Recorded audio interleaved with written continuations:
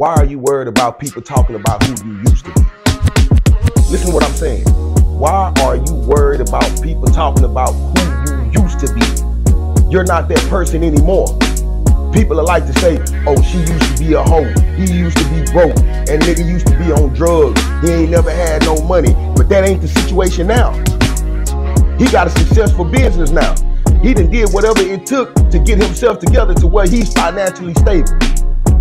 Got a successful marriage, committed to one man, ain't been sleeping around, and got herself together, financially stable.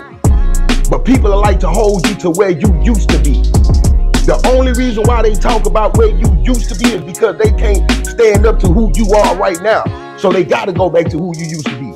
And the majority of the people that like to point out who you used to be are still in the same position they was when you used to be who you used to be. So why are you going to let them